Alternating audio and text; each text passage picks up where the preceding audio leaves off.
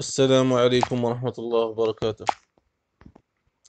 هزة أرضية ضربت قبل قليل بلغت شدتها أربعة فاصل اثنان درجات على سلم ريشتر. الهزة شعر بها سكان ولايات الجزائر العاصمة بومرداس تيبازا المدية البليدة. الهزة حدد مركزها أربعة كيلومتر جنوب غرب عين الرمانة بالبليدة. إن شاء الله تكون سلامات يا رب.